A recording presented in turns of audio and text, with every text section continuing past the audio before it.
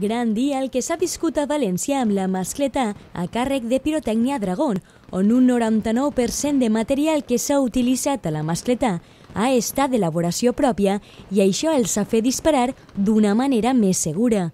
Com és habitual en cada mascleta, el balcó de l'Ajuntament és plena de representació política i comissions falleres per viure de prop el gran espectacle.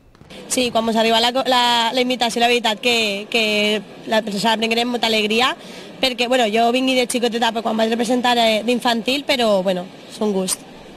Jo igual me ho van dir quan estava en la meva comissió i vaig, me va ficar molt contenta perquè no me'l creia. No pots vindre tots els dies a, a l'Ajuntament a veure la mascleta. I com definiríeu la sensació d'estar així? La veritat que, a veure, veure tota València als nostres peus, encara que nosaltres no siguem, entre cometes, les, les protagonistes, però la veritat que, no sé, molta felicitat. Pues sí, és la primera vegada que, que vinc al balcó a veure una mascleta. He vingut en altres ocasions i estic encantat de poder acompanyar a les nostres falleres majors, com no pot ser d'una altra manera, perquè gaudisquen d'aquest dia, que també és especial per a elles. Van a ser les falles a la Quas? Van a ser unes falles espectaculars, perquè estem segurs que l'oratge ens va acompanyar i que totes les comissions han treballat de valent per haver unes falles magnífiques i encapçalades per aquestes dos increïbles falleres majors de l'Aquas. Com se viu des de l'altra part, Rocío?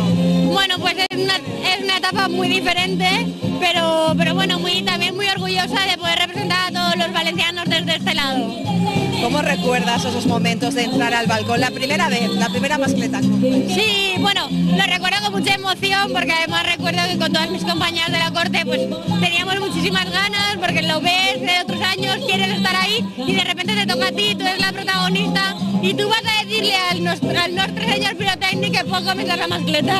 Sempre és un plaer poder estar així en les mascletaes i la d'avui ha sigut espectacular. Suposo que la gent en casa haurà disfrutat igual que s'ha disfrutat així en la, en la plaça de l'Ajuntament.